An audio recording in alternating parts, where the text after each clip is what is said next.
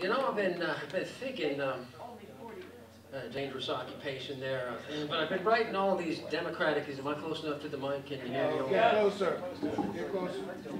Well, I've been writing all these democratic folk songs, and I thought, what if, what if there was to be a Republican folk song?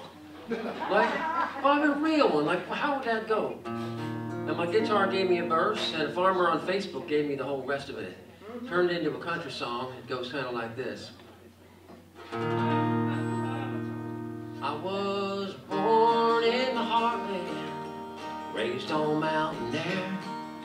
Mama's good home cooking, tender love and care. And I learned the love of Jesus. Sometimes life ain't fair. When it's hard to make a living, I'm just living on prayer. For generations, family farm, made a right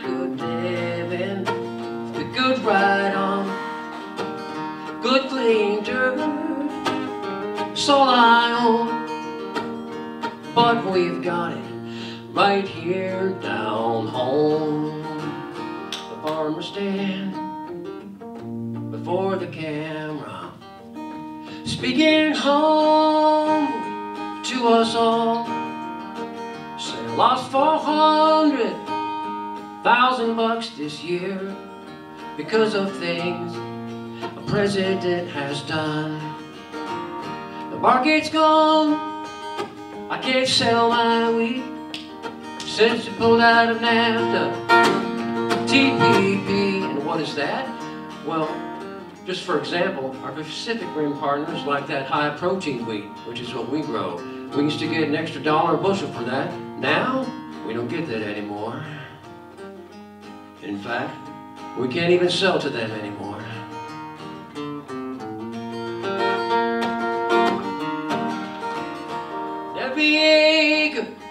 We lose 70 to 75 bucks.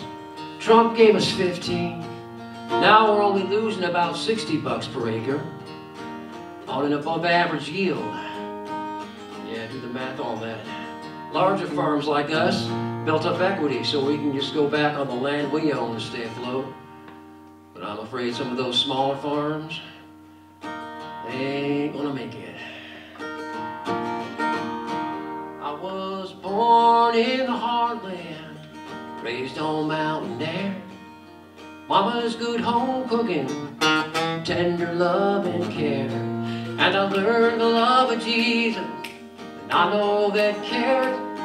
When it's hard to make a living, I'm just living on prayer.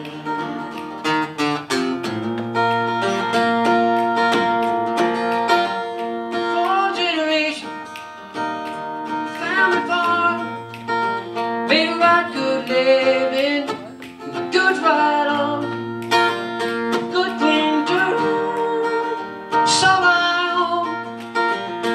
But we've got it right here down home.